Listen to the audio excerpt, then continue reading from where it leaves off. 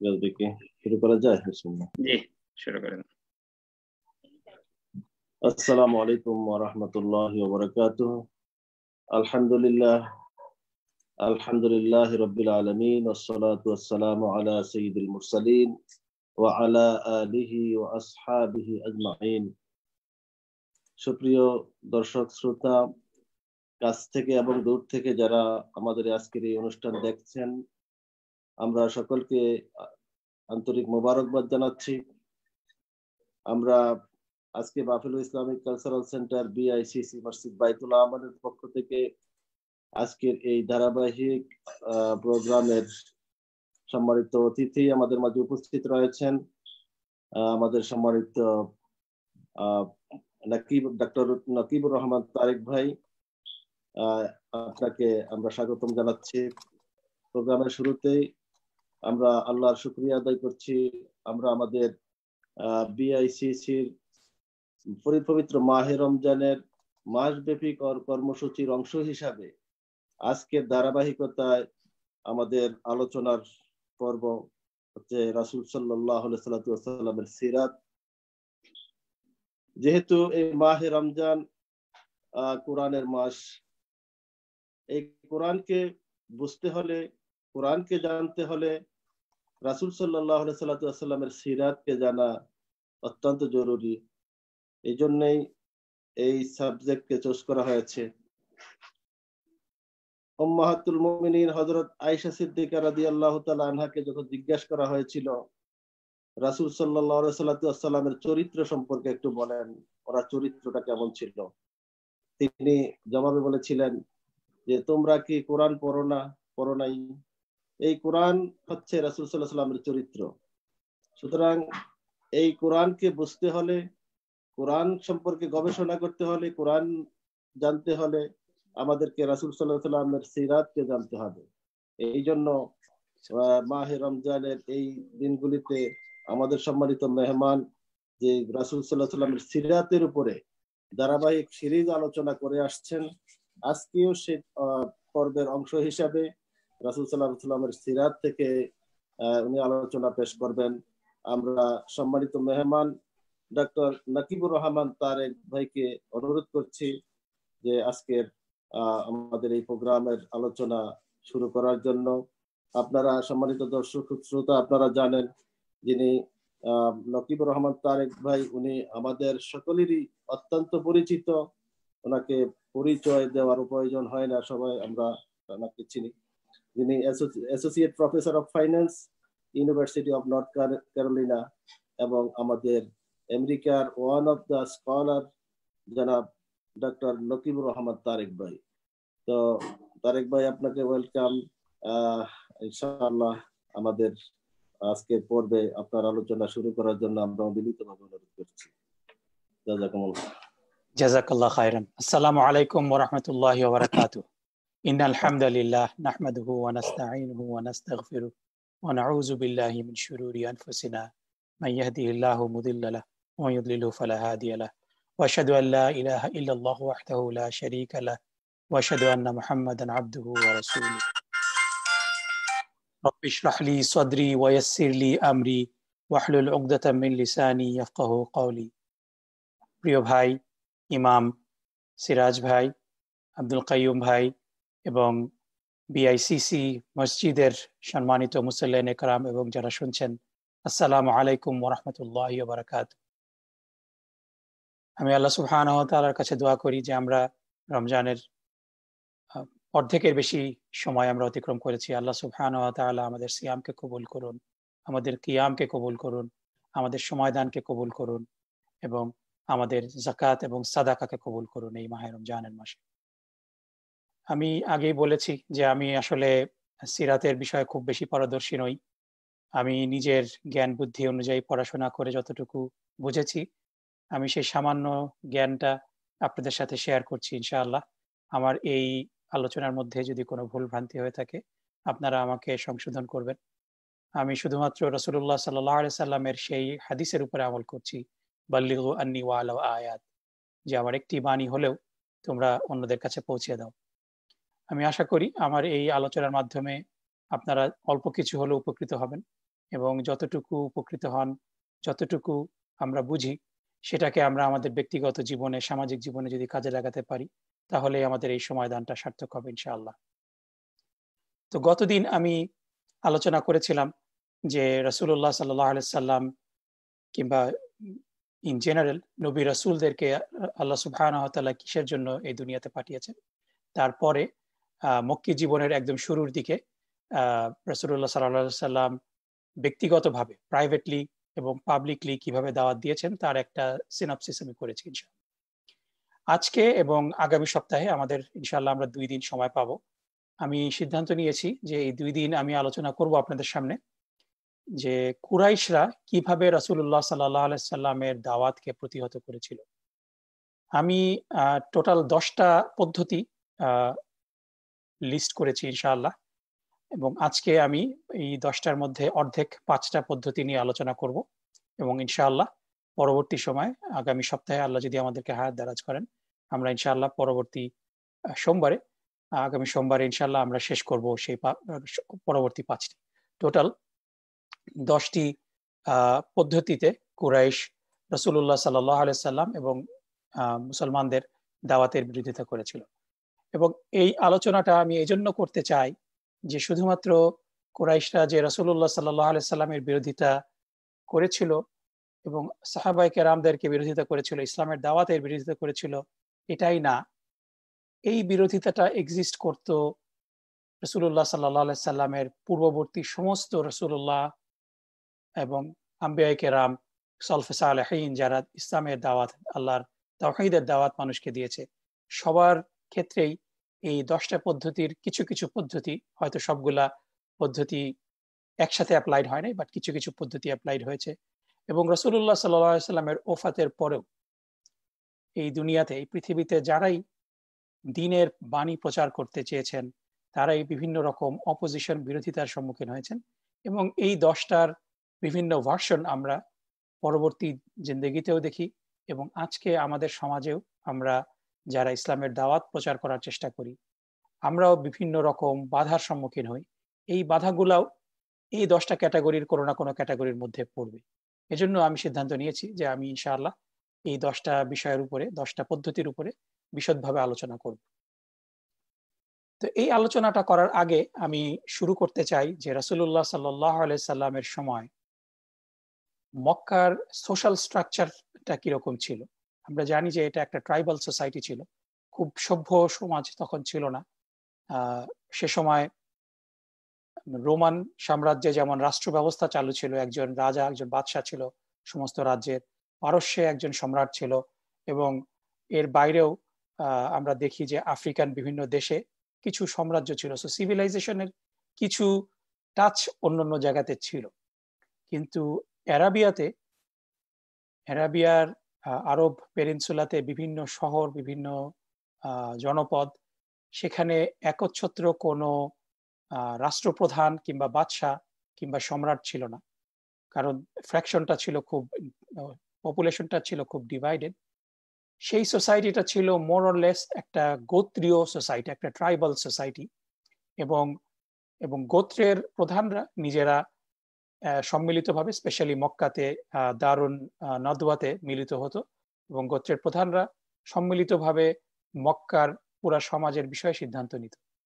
এবং কোরাইশ অবশ্যই সবচেয়ে সম্মানিত গোত্র এবং কোরাইশের বাইরেও বিভিন্ন সাব ট্রাইব ছিল। যেমন রসুল্লাহ সাল্লাহ সাল্লাম ছিলেন বানু হাসিম গোত্রের, আবু জেহেল ছিল বানু মখজুম গোত্রের উতবা ইবনে রবিআ ছিল আব্দুল শামস গোত্রের এরকম বিভিন্ন গোত্রের উপগোত্রের কুরাইশদের মধ্যে বিভিন্ন উপগোত্রের উপগোত্র তাদের নিজস্ব লোকজনের ভালো মন্দর দেখভাল করত। এবং ট্রাইবাল সোসাইটিটা এমন ছিল যে এক গোত্রের লোকজন অন্য কোনো গোত্রকে আসলে কিছু বলতে পারতো না।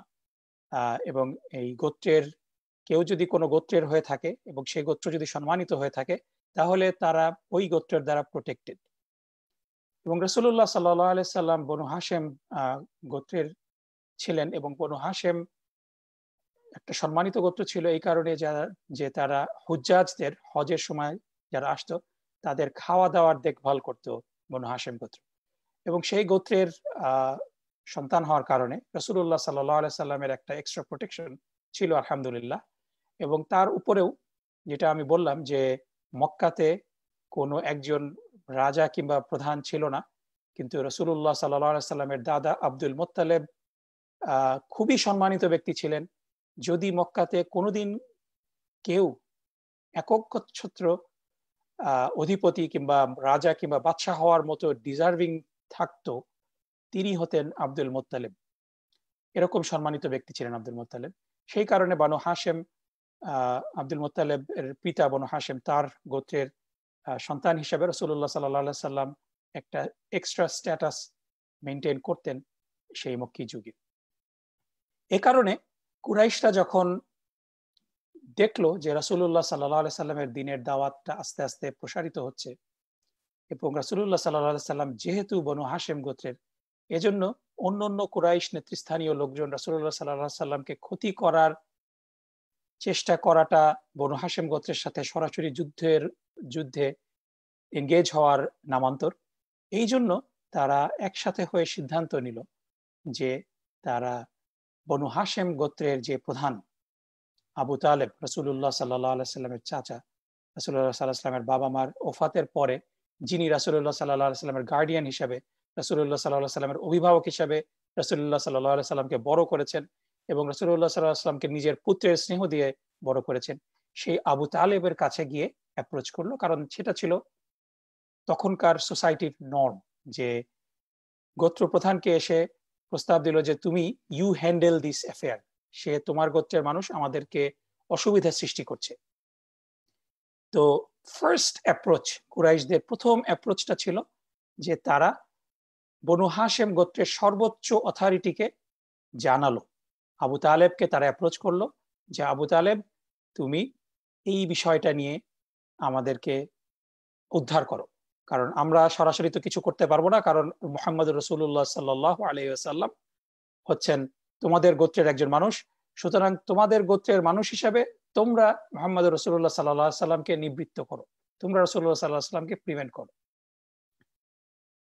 So Abu Talib was getting old little bit এবং আবু তালেব ওই সময় বয়স হয়ে যাচ্ছিল এবং আবু তালেব একজন ভালো মানুষ ছিলেন। তিনি রসুল্লাহ সাল্লাহ আসলামকে স্নেহ করতেন। এবং রাসুল্লাহ সাল্লাহ সাল্লাম আবু তালেবকে সম্মান করতেন, নিজের পিতার মতো সম্মান করতেন। তো প্রথমে যখন কুরাইশরা আবু তালেব আবু তালেবের কাছে গিয়ে অ্যাপ্রোচ করল, তখন আবু তালেব কুরাইশদের সাথে কোনো ঝগড়া, ফ্যাসাদে লিপ্ত হতে চায়নি। সো সে সিম্পলি জিনিসটাকে পাশ কাটিয়ে ফেলেছেন যে এটা এটা it's not a big deal এরকম পাশ কাটানোর চেষ্টা করেছেন। তারপরে যখন ইসলামের দাওয়াতটা আস্তে আস্তে প্রসারিত হতে থাকল, একে একে লোকজন ইসলামের দিকে আসা শুরু করল। এবং স্পেশালি হজের সিজনে রাসুল্লাহ সাল্লাহ সাল্লাম যখন মক্কার বাইরে থেকে আসা লোকজনকে দিনের দাওয়াত দেওয়া শুরু করল, তখন কুরাইশরা চিন্তা করে দেখল যে, মোহাম্মদ রসুল্লাহ সাল্লাহ সাল্লাম তো আমাদের বাপ দাদার যে আমরা ট্রেডিশন যেটা আমরা ফলো করছি, সেইটাকে একটা পরীক্ষার মুখে ফেলছে, সেটাকে একটা পোস্তের মুখে ফেলছে। সুতরাং তারা আবার আবু তালেবের কাছে এসে অ্যাপ্রোচ করল এবং এই সময় অ্যাপ্রোচটা ছিল অনেক কিছুর সংমিশ্রণ। একটা হুমকি, একটা আপনার সুইট টক মানে কি বলা যায়, এটাকে আমরা ইংরেজিতে বলি স্টিক অ্যান্ড ক্যারট যে একদিকে হুমকি আর একদিকে কিছু ব্রাইবারি কিছু মানে কি বলা যায় যে কিছু ঘুষ, কিছু সুযোগ সুবিধা দেওয়া এবং সুযোগ সুবিধাটা যদি না নাও তাহলে পরে শাস্তি।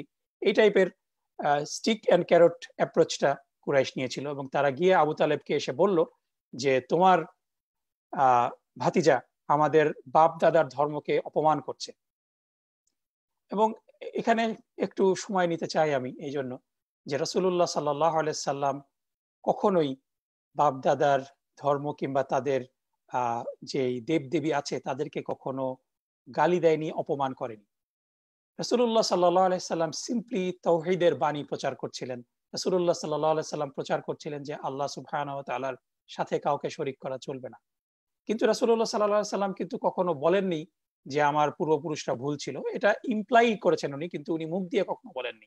কিংবা উনি কখনো অন্য দেব দেবীকেও অশ্লীল ভাষায় কখনো গালি দেননি।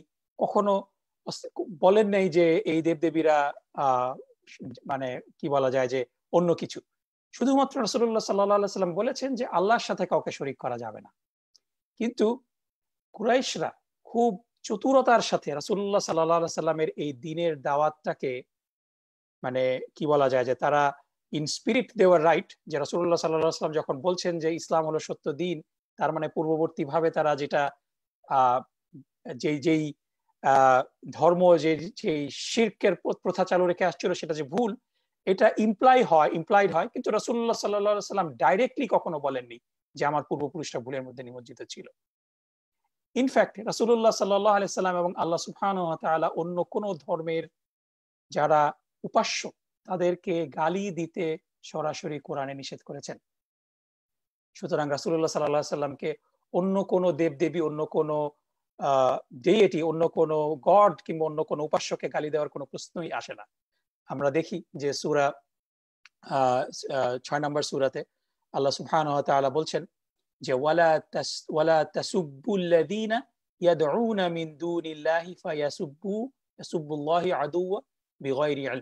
যে তোমরা যদি অন্য, আল্লাহ ছাড়া অন্য অন্য উপাস্যদেরকে গালাগালি করো, তাহলে তোমাদের শত্রুরা আল্লাহকে গালাগালি করবে। এই কারণেই অন্য কোনো উপাস্যকে গালি দেওয়ার কোনো প্রশ্নই আসে না এবং এটা আমাদের দিনে সম্পূর্ণভাবে প্রহিবিটেড আমরা শুধুমাত্র আল্লাহ সুবহান তালার একত্বের দাওয়াত মানুষকে দিব এবং রসুল্লাহ সাল্লাহ সাল্লামও সেটাই দিয়েছেন। কিন্তু তারা রসুল্লাহ সাল্লাহ সাল্লার মেসেজটাকে টুইস্ট করে তারা এমন ভাবে লোকজনের কাছে এটা উপস্থাপন করছে যাতে করে লোকজন খেপে যায় যে সে তো আমাদের পূর্বপুরুষকে গালি দিচ্ছে, সে তো আমাদের ইলাহগুলাকে গালি দিচ্ছে, আমাদের উপাস্যগুলাকে গালি দিচ্ছে। এইটা রাসুল্লাহ সাল্লাহ আসলাম করেননি। তারা রাসুল্লাহ সাল্লাহ আসলামের মূল বাণীটাকে টুইস্ট করে এইভাবে কুরাইশদেরকে উত্তেজিত করার চেষ্টা করছিল। এবং এই সময় তারা আবু তালেবের কাছেও এসে বলল যে, দেখো, আবু তালেব, সে তো আব্দুল মুতালেবের ধর্মকেও বিরোধিতা করছে। আব্দুল মুতালেবকেও ছোট করছে। সো তুমি এটা সামলাও। এবং আবু তালেব তখন একটু চিন্তায় পড়ে গেল যে, এইভাবে যদি বিরোধিতা চলে, তাহলে তো এরা আমার ভাতিজাকে কষ্ট দিবে, এরা আমার ভাতিজাকে ক্ষতি করবে। সেই কারণে আবু তালেব একটু নরম হলো এবং সে গিয়ে রসুল্লাহ সাল্লাহ সাল্লামকে অ্যাপ্রোচ করল। এবং রসুল্লাহ সাল্লাহ সাল্লামকে গিয়ে বলল যে, ও আমার ভাতিজা, আমার কৌমের লোকজন তো আমার কাছে এসেছিল এবং তারা আমাকে এসে কিছু প্রস্তাব দিয়েছে। তুমি জানো যে আমার বয়স হয়ে যাচ্ছে। আমি অনেক কিছুই আগের মতো হ্যান্ডেল করতে পারি না। ও আমার প্রিয় ভাতিজা, আমি আশা করব তুমি আমার প্রতি দয়া পরবশ হবা এবং তুমি আমার সিচুয়েশনটা আমি কি পরিস্থিতির মধ্যে আছি, এইটা তুমি চিন্তার মধ্যে আনবা। তো এটা অনেকটা ইমোশনাল ব্ল্যাকমেনের মতো ছিল, কারণ রাসুল্লাহ সাল্লাহ সাল্লাম আবু তালেবকে খুবই সম্মান করতেন এবং আবু তালেব ছিলেন রাসুল্লাহ সাল্লাহ সাল্লামের কাছে পিতৃতুল্য। রাসুল্লাহ সাল্লাহ সাল্লাম যখন ইয়তিম ছিলেন, তখন আবু তালেব রসুল্লাহ সাল্লাহ সাল্লামকে বড় করেছে। এই জন্য রসুল্লাহ সাল্লাহ সাল্লাম কিছুটা দায়বদ্ধও ছিলেন আবু তালেবের কাছে। এবং এটা ছিল অনেকটা ইমোশনাল ব্ল্যাকমেল আবু তালেব সরাসরি বলছিলেন না যে তুমি ওদের কথা শোনো। কিন্তু আবু তালেব সিম্পলি বললেন যে, আমার তো বয়স হয়ে যাচ্ছে, ভাতিজা, আমার প্রতি তুমি একটু রহম দিল হও। আমাকে যেন তোমার কারণে অপমানিত না হয়। ইনডাইরেক্টলি এভাবে উনি বলছিলেন। তখন রসুল্লাহ সাল্লাহ সাল্লাম তার যে বিখ্যাত উক্তিটি, সেটা উনি করলেন যে, হে আমার চাচা, আপনি যদি আমার ডান হাতে সূর্য এবং বাম হাতে চন্দ্রও এনে দেন তখন তাহলে পরেও আমি আল্লাহ সুফান তালা আমাকে যে দিনের দায়িত্ব দিয়ে পাঠিয়েছেন, সেই দায়িত্ব থেকে আমি পিছু হব না।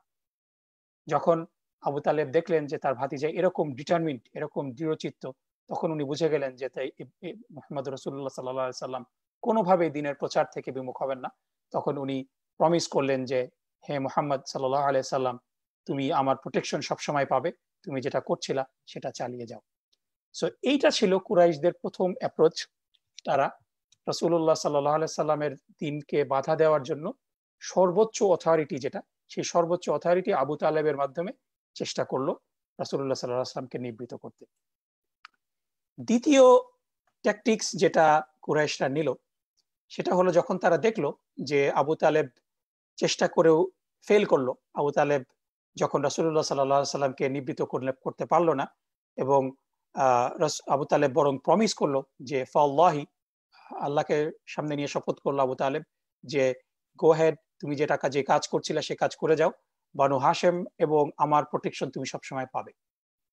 এই মেসেজটা যখন কুরাইশদের কাছে গেল, তখন কুরাইশরা আবু তালেবের উপর একটু মানে একটু ক্ষুব্ধ হলো।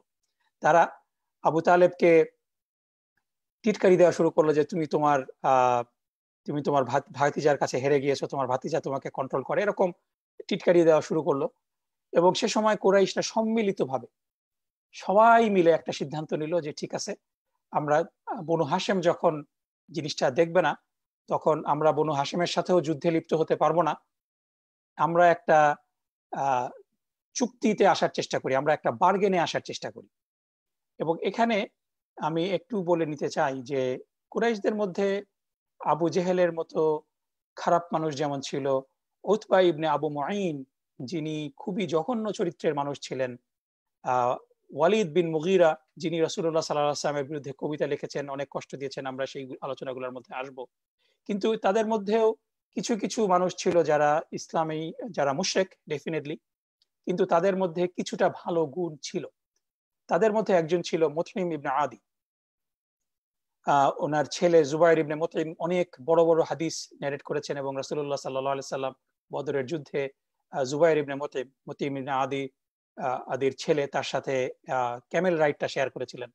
সো মতিম, এজন্য মতিম ইবনে আদির অনেক আলোচনা ইনশাল্লাহ আমরা যদি সিরাত আলোচনা করি, পরবর্তীতেও যদি আমরা সুযোগ পাই, আমরা দেখব। রসুল্লাহ সাল্লাহ সাল্লাম যখন তাইফ থেকে ফিরলেন, তখন মোতাইম ইবনে আদি রসুল্লাহ সাল্লাহ সাল্লামকে প্রোটেকশন দিয়েছিলেন এবং তিনি একজন সম্মানিত ব্যক্তি ছিলেন, যাকে আব্দুল মুতালিবের পরে কুরাইশরা ইউনানিমাসলি সম্মান করতেন। এবং তিনি সর্বোচ্চ সম্মানিত ব্যক্তি ছিলেন কুরাইশদের মধ্যে এবং পরবর্তীতেও রাসুল্লাহ সাল্লাহ সাল্লামের বিরুদ্ধে যখন বয়কট আনা হলো, তখন মুতালিম আদি সেটার বিরোধিতা করেছিলেন এবং রাসুল্লাহ সাল্লাহ সাল্লামকে প্রোটেকশন দিয়েছিলেন আবু তালেবের ওফাতের পরে। সেই মুতলিম ইবনে আদি পর্যন্ত এই সময় যখন কুরাইশরা সবাই একত্রিত হলো, তখন সমস্ত কুরাইশের নেতৃস্থানীয় ব্যক্তি, ব্যক্তিবর্গ ইনক্লুডিং মুতরিম ইবনে আদি যার মধ্যে কিছু ভালো এবং সিভিক সেন্স ছিল। মুশরিক হলেও তার মধ্যে কিছু ভালো জিনিস ছিল। সো এই জায়গাটা আমি এজন্য বলতে চাচ্ছি যে ইট সিগনিফাইজ যে মুতরিম ইবনে আদির মতো মানুষও যখন অন্য সব নেতৃস্থানীয়দের সাথে একত্রিত হয়, তখন আমাদেরকে বুঝে নিতে হবে যে বনু হাসেম গোত্রের এগেনস্টে মক্কার সে সময় সবাই একত্রিত হয়েছিল। So it was almost us versus rest of the world রসুল্লাহ সাল্লাহ সাল্লাম এবং গুটি কয়েক মুসলমান সাহাবি সে সময় এবং বনু হাসেম গোত্র ছাড়া সমস্ত মক্কার অন্য অন্য পপুলেশন একত্রিত হয়েছে রাসুল্লাহ সাল্লাহ সাল্লামের বাণীকে বিরোধিতা করার জন্য ইনক্লুডিং যাদের মধ্যে কিছু ভালোও ছিল ইনক্লুডিং মুতরাইম ইবনে আদি। তখন তারা যেটা সবাই মিলে সিদ্ধান্ত নিল যে কুরাইশদের মধ্যে সে সময় মোতাইম ইবনে আদি ওয়াজ দ্য লিডার পলিটিক্যাল সেন্সে উনি সবচেয়ে সর্বোচ্চ সম্মানিত ব্যক্তি। এবং ইন্টেলেকচুয়াল সেন্সে সবচেয়ে সম্মানিত ব্যক্তি ছিল এবং কুরাইশদের মধ্যে সবচেয়ে জ্ঞানী লোক ছিল ওয়ালিদ ইবনে মগিরা। খালেদ ইবনে ওয়ালিদ রদি আল্লাহ আনহুর পিতা। ওয়ালিদ ইবনে মগিরা তিনি ছিলেন সবচেয়ে ইন্টেলেকচুয়ালি কেপেবল মানুষ। এবং ওয়ালিদ ইবনে মগিরার সবচেয়ে বড় সন্তান ছিল উমরা ইবনে আল আলী ওয়ালিদ, উমারা ইবনে আল আল ওয়ালিদ, খালিদ ইবনে ওয়ালিদের বড় ভাই উমারা ইবনে আল ওয়ালিদ। এবং সেও তার বাবার সবচেয়ে বড় সন্তান এবং he was seemed as the brightest young man এবং কুরাইশ তো সবাই মিলে যে সিদ্ধান্ত নিল সেটা হলো যে তারা সবাই আবু তালেবের কাছে গিয়ে যাবে, গিয়ে বলবে যে তুমি তো তোমার ভাতিজাকে কিছু করতে পারলা না, আমরা একটা বার্গেন করি তোমার সাথে তোমার সাথে আমরা একটা ট্রেডিং করি যে তুমি তোমার ভাতিজাকে আমাদের কাছে হ্যান্ড ওভার করো। এটার পরিবর্তে আমরা আমাদের সবার সমস্ত মক্কার মধ্যে সবচেয়ে brightest star Umara bin Walid bin Mughira. Walid bin মুগিরার সবচেয়ে বড় ছেলে। সে সবচেয়ে হ্যান্ডসাম সবচেয়ে শিক্ষিত, পড়াশোনা জানতো এবং সবাই তাকে পছন্দ করত। তোমরা আমরা তোমাকে ওমারা ইবনে ওয়ালিদকে তোমাদের কাছে দিয়ে দিব। তুমি ওমারা ইবনে ওয়ালিদকে মোহাম্মদ রসুল্লাহ সাল্লাহ সাল্লামের পরিবর্তে অ্যাডপ্ট করবা। এবং যখন মোহাম্মদ সাল্লাহ আলি সাল্লাম আমাদের গোত্রের অংশ হয়ে গেল, তখন আমরা তোমাদের আর কোনো দায় দায়িত্ব থাকল না, সে তোমাদের গোত্রের আর না, তখন আমরা সিদ্ধান্ত নিব আমরা মোহাম্মদ রসুল্লাহ সাল্লাহ সাল্লামকে নিয়ে কি করব। এটা ছিল তাদের প্রস্তাব এবং এই প্রস্তাবে সমস্ত মক্কার সবাই এগ্রি করল ইনক্লুডিং মোতরেম ইবনা আদি। এবং আবু তালেব এই প্রস্তাব শুনে খুব, খুবই ক্ষুব্ধ হলো। এবং তার রিয়াকশনটা ছিল এরকম যে উনি বললেন এবং আবু তালেব খুব ক্লিয়ারলি বুঝতে পারলেন যে এই বার্গেনটার মানে কি। যে যখন রসুল্লাহ সাল্লাহ সাল্লামকে তারা তাদের গোত্রে নিয়ে নিবে, এর অর্থ হলো তারা রসুল্লাহ সাল্লাহ সাল্লামকে হত্যা করবে এবং এর পরিবর্তে কম্পেনসেশন হিসেবে তারা প্রমর আহ ওয়ালিদকে আহ হাসেম গোত্রকে অ্যাডাপ্ট করতে বলছে। তখন আবু তালেব রিপ্লাই দিল এবং এই রিপ্লাইটা খুব সম্মানিত রিপ্লাই এবং খুব ডিগনিফাইড রিপ্লাই ছিল। আবু তালেব বলল যে, কি জঘন্য একটা, কি হাস্যকর, কি মান, অবমাননাকর একটা চুক্তি এটা। তোমরা আমার ভাতিজাকে মেরে ফেলবা আর এক্সপেক্ট করো আমাকে যে তোমাদের সন্তানকে আমি খাইয়ে, পইরে, মোটা তাজা করব। এটা কি হতে পারে? এটা ছিল আবু তালেবের রিপ্লাই যে, তোমরা আমার আমার সন্তানকে তোমরা মেরে ফেলবা আর তোমরা এক্সপেক্ট করো যে তোমাদের সন্তানকে আমি খাওয়ায়, পড়ায়, মোটা তাজা করি, এটা কীভাবে সম্ভব? এবং এই যখন আবু আবু তালেব যখন এই প্রস্তাবটা এভাবে রিজেক্ট করে দিল, তখন মোত্রিম ইবনে আদি একটু ডিসঅ্যাপয়েন্টেড হলো। তখন সে বলল যে, হে আবু তালেব, আমার মনে হয় তোমার লোকজন তোমাকে একটা সম্মানিত বার্গেন দিয়েছিল। তোমার পিপল তোমাকে, তোমার কাউম, তোমার অন্য অন্য গোত্রের লোকজন তোমাকে একটা সম্মানিত সলিউশন দিয়েছিল। কিন্তু তুমি এটা রিজেক্ট করে ঠিক করলা না, তোমাকে আরও বিপদের মধ্যে পড়তে হবে। সো তখন থেকে এই এই আবু তালেবের এই যে উদ্যোগটা, এটা আবু তালেবের সম্মানকে অনেক বাড়িয়ে দিয়েছে এবং রসুল্লাহ সাল্লাহ সাল্লামও আবু তালেবের জন্য মন থেকে দোয়া করেছিলেন, কিন্তু আল্লাহ সুবহান তালা যদি কাউকে হেদায়ত না দেন, তাহলে তার পক্ষে হেদায়ত পাওয়া সম্ভব না। সো এই সময় আবু তালেব বললেন আবদুল্লাহ ইবনে মতিম ইবনে আদিকে যে তোমাদের যা খুশি তাই করো, আমি আমার ভাতিজাকে তোমাদের হাতে তুলে দিব না, তোমাদের যা খুশি তোমরা তাই করতে পারো। তখন থেকে কুরাইশদের সাথে বনু হাসেমদের পরিষ্কার একটা ঠান্ডা যুদ্ধ শুরু হলো এবং পরবর্তীতে এই দশটা ট্যাকটিকের লাস্ট ট্যাকটিক যেটা ছিল বয়কট ফাইনালি সমস্ত ট্যাকটিকগুলা শেষ হয় বয়কটের মাধ্যমে এবং শেষ পর্যন্ত বনু হাসেম এবং আবু তালেবকে কুরাইশরা বয়কট করে। যখন অন্য অন্য সমস্ত স্টেপগুলা দে এক্সস্টেড সো এটা ছিল তাদের দ্বিতীয় অ্যাপ্রোচ প্রথম অ্যাপ্রোচ হলো এগেন যে তারা সর্বোচ্চ ফোরামে আবু তালেবের কাছে রসুল্লাহ সাল্লাহ আসলামকে নিবৃত করার চেষ্টা করল। দ্বিতীয় হলো, যে তারা একটা বার্গেন অফার করল, একটা ট্রেচারাস বার্গেন অফার করল, যাতে তারা রসুল সাল্লাহামকে নিয়ে তাদেরই একজনকে বনু হাসেমকে দিতে পারে এবং দুইটা দুইটা মেথডই রিজেক্টেড হয়ে গেল। তৃতীয় মেথড যেটা তারা নিল, সেটা হলো যে সে সময় যখন এটা আমরা আলোচনা করছি রসুল্লাহ সাল্লাহ সাল্লামের দাওয়াতের তৃতীয়তম বছরের শুরু থেকে, কারণ প্রথম তিন বছর রসুল্লাহ সাল্লাহ সাল্লাম ব্যক্তিগতভাবে দাওয়াত দিয়েছেন এবং প্রকাশ্যে দাওয়াত দেননি। যার কারণে কুরাইশদের বিরোধিতার বিরোধিতা করার কোনো গ্রাউন্ড আসলে ছিল না। তারপরে যখন তিন বছর পরে যখন রসুল্লাহ সাল্লাহ সাল্লাম সাফা পর্বতের উপরে দাঁড়িয়ে ঘোষণা দিলেন, আমরা সবাই সেই ঘটনাগুলো জানি। তখন থেকে প্রকাশ্য দাওয়াত দেওয়ার শুরু থেকেই এই তৃতীয় বছর বেসিক্যালি তিন বছর যাওয়ার পরে চতুর্থ এবং পঞ্চম বছরের কথাগুলো আমরা এখন বলছি। এই সময় এবং এই ঘটনাটা, এই যে দুইটা ঘটনা আমরা বললাম, এটা রাসুল্লাহ সাল্লাহ সাল্লামের নবুয়তের চতুর্থ বছরের ঘটনা।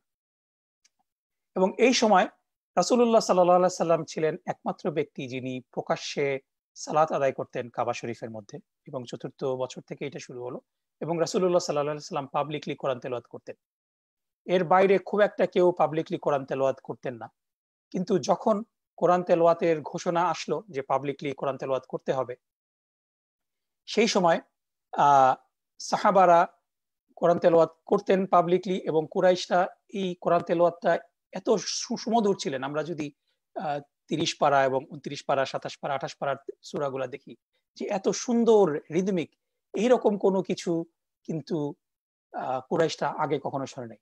তার, তাদের আরবি সাহিত্যের সমাদর তারা করতো, কিন্তু কোরআনে যেরকম মাখরাজ এবং গুন্না এবং মাদ যেভাবে আছে, আরবি লিটারেচারে কিন্তু এরকম মাদ এবং গুন্নার প্রচলন কিন্তু নাই ক্লাসিক্যাল আরবিকে এবং এটা এত সুমধুর যে এত শ্রুতি মধুর যে কুরাইশটা অবসেসড হয়ে শুনতো যে কি সুন্দর এই জিনিসটা। এজন্য তারা যেটা দেখল যে কোরআনের বাণী শুনেই কিন্তু অনেক ব্যক্তি মুসলমান হয়ে যাচ্ছে। সুতরাং তারা চেষ্টা করল, তাদের থার্ড মেথডটা হলো যে কীভাবে এই কোরআনের বাণীটাকে, এই কোরআনের রিসাইটেশনটাকে বন্ধ করা যায়। এটার জন্য বিভিন্ন রকম চেষ্টা করেছে। ইবনে আব্বাস সদি আল্লাহ তালানু থেকে বর্ণিত যে আহ ইবনে আব্বাস সদি তালানু মেনশন করেছেন যে যখনই কোরআনকে রিসাইট করা হতো কাবার সামনে কুরাইশরা চিৎকার করা শুরু করত, যাতে করে কোরআনের আওয়াজটা মানুষের কানে না যায়।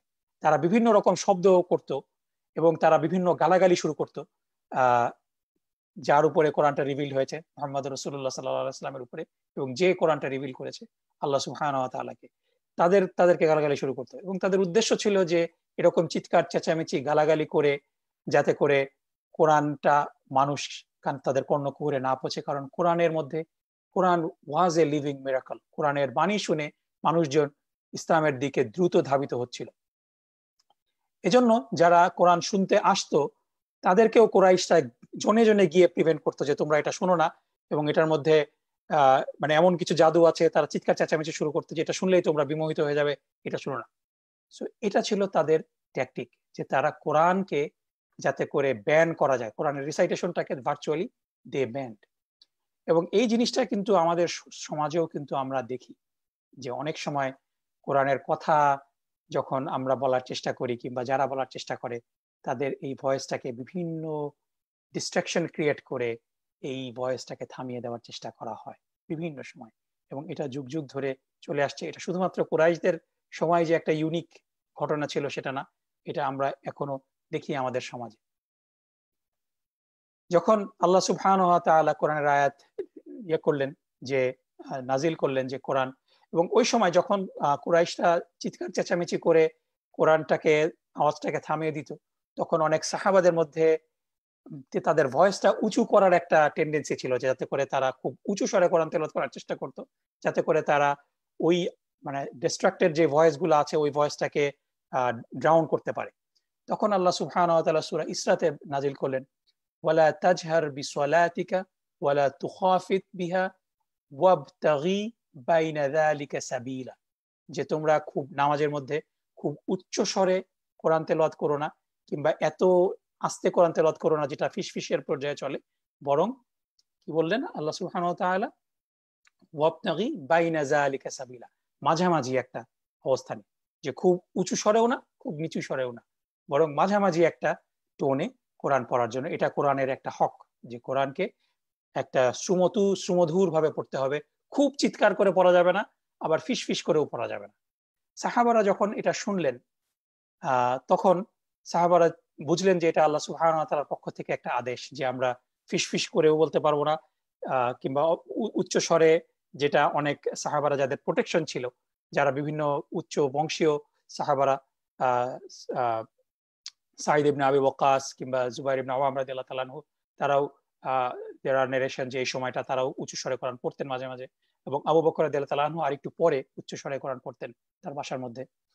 তো তারা একটু উঁচু স্বরেই কোরআনটা পড়তেন এবং এই আয়াতের মাধ্যমে এটাকে নিষেধ করা হয়েছে বেসিক্যালি যে খুব বেশি উঁচু স্বরে চিৎকার করে পড়া যাবে না, মাঝারি ওয়াইজে পড়তে হবে। এটা যখন সাহাবারা শুনলেন এবং সে সময় সাহাবারা দারুল আরকামে জড়ো হতেন। এবং আমি একটু পরে দারুল আরকাম সম্পর্কে অল্প কিছু সময় বলব। তো দারুল আরকামে যখন তারা মিলিত হয়ে এই আয়াতটা আলোচনা করছিলেন, সুরা ইস্টার এই আয়াতটা, একশো দশ নম্বর আয়াত, তখন তারা চিন্তা করছিলেন যে এটা তো আল্লাহর নির্দেশ, আমাদেরকে এক্ষুনি আল্লাহর এই নির্দেশটা পালন করতে হবে। এবং এটা সাহাবাদের একটা গুণ ছিল যে তারা যখনই কোরআন পড়তেন, তাদের অ্যাপ্রোচটা ছিল কোরআন পড়ার প্রতি, যে তারা কোরআন পড়ে কোনো ইতিহাস, কৃষ্টি, কোনো জ্ঞান, বিজ্ঞান আহরণের জন্য কোরআন পড়তেন না। এবং আমাদেরও মজা পাওয়ার জন্য কোরআন পড়তে পড়া উচিত হবে না। আমাদের অ্যাপ্রোচ করতে হবে কোরআনকে যেভাবে সাহাবারা রসুল্লাহ সাল্লাহ সাল্লাম কোরআন পড়তেন। এই এটা একটা উদাহরণ যে তারা কোরআন যখনই পড়তেন, তারা খুঁজতেন যে এর মধ্যে আল্লাহ সুবহান তারা কি নির্দেশ তাদেরকে দিচ্ছেন এবং সেই নির্দেশটার সাথে সাথে তারা পালন করতেন। এবং এই আয়াতের মাধ্যমে তারা বুঝলেন যে আল্লাহ সুবহান তালা নির্দেশ দিচ্ছেন এখন যে কোরআনকে খুব উঁচু সরে না, খুব নিচু সরে না, মাঝারি ভয়েসে মাঝারি ভয়েসে মানুষের সামনে তেলোয়াত করতে হবে, এটা একটা নির্দেশ। এবং কীভাবে এটা, এই আয়াতটার উপরে আমল করা যায়, এটা নিয়ে ডিসকাশন হচ্ছিল। এবং আমরা জানি আবদুল্লাহ ইবনে মাসুদ আল্লাহ আনহু খুবই সাহসী মানুষ ছিলেন, কিন্তু unfortunately he was not a Qurayshi. In fact he was from Yemen এবং তিনি আবদুল্লাহ ওয়ালিদ ইবনে ইবনে আবু মঈদ যে খুবই একজন খুবই খারাপ শ্রেণির একজন মানুষ এবং আদৌল্লাহ তার মেষ চড়াতেন। যার কারণে একে তো ইয়েমেনি, তারপরে উনি যদিও কৃতদাস ছিলেন না, কিন্তু উনি ছিলেন একজন মানে ফ্রিড স্লেভ মাওলা স্ট্যাটাসের মানুষ। যার কারণে উনাকে কেউ যদি ক্ষতি করেন, তাহলে আসলে কেউ তাকে প্রোটেক্ট করতে আসার সমর্থ রাখে না according to the norms of the society at that time সুতরাং এবং আবদুল্লাহ মাসুদও খুব বেশি স্বাস্থ্যসম্মত, খুব বেশি স্বাস্থ্যবান মানুষ ছিলেন না। ইনফ্যাক্ট উনি খুবই রোগাচ মানুষ ছিলেন, খুবই ছোটখাটো একজন মানুষ ছিলেন। সুতরাং আবদুল্লাহ ইবনে মাসুদ রাদিয়াল্লাহু আনহু যখন ভলান্টিয়ার করলেন যে, আমি রাস্তায় গিয়ে, আমি বাজারে গিয়ে কোরআন তেলাওয়াত করব, আল্লাহ সুবহানাহু ওয়া তাআলার এই আদেশটা আমি পালন করব। তখন অন্য অন্য সাহাবারা সবাই খুব ভীত সন্ত্রস্ত হয়ে গেলেন যে, না, এটা তুমি করতে গেলে কোরাইশা তোমার ক্ষতি করবে কোরাইশা তোমাকে তোমার, তোমাকে ফিজিক্যালি আঘাত করবে, শারীরিকভাবে লাঞ্ছিত করার চেষ্টা করবে, তুমি এটা করো না কারণ তোমার কোনো প্রোটেকশন নাই। কিন্তু আবদুল্লাহ ইবনে মাসুদের ইমান রদি আল্লাহ আনহু, তার ইমান এত শক্ত ছিল যে তিনি বললেন যে, না, আমি যাব। আমি যাব এবং আমি আল্লাহ সুবহান তালার এই আদেশটা পালন করব।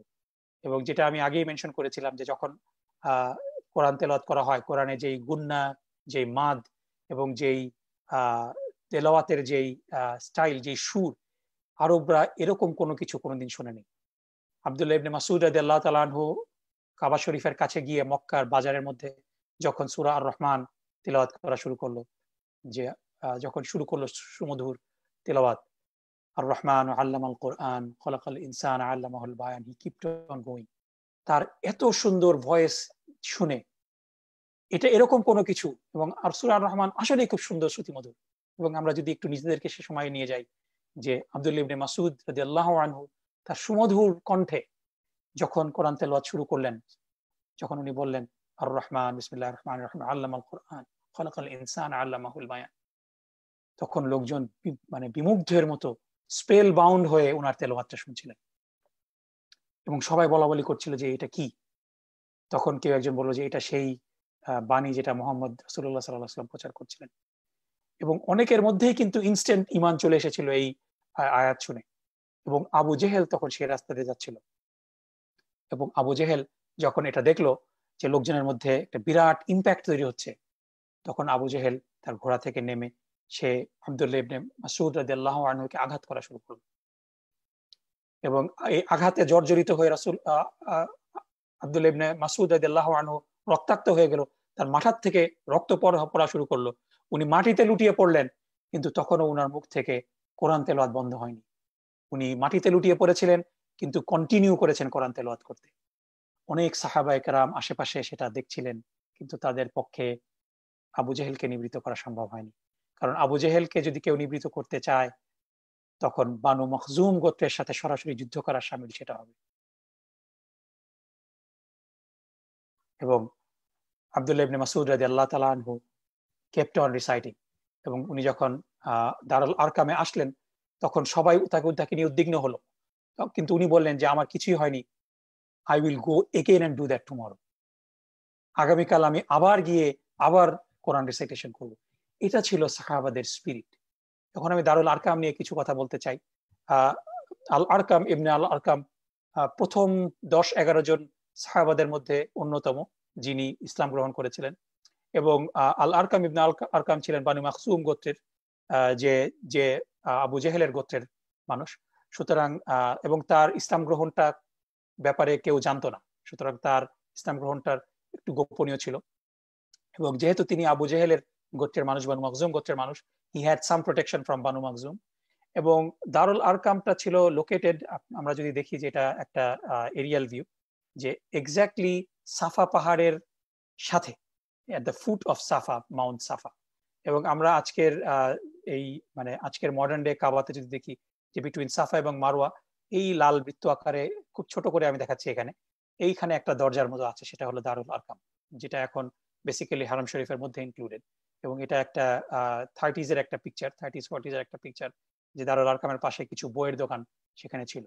এই দারুল আরকামটা তখন তিরিশ, চল্লিশ জনের মতো সাহাবি ইসলাম গ্রহণ করেছেন এবং তাদের বসার জন্য একটা বড় জায়গা দরকার ছিল। এই জন্যই দারুল আরকামটা চুজ করা হয়েছে। এবং আরেকটা জিনিস যে, যদিও প্রকাশ্যে দাওয়াত শুরু হয়েছে, কিন্তু স্টিল অনেক সাহাবা ইসলাম গ্রহণ করেছেন, তারা নির্যাতনের শিকার হতে পারেন। এজন্য তাদের ইমানটা পাবলিক ইনফরমেশন ছিল না।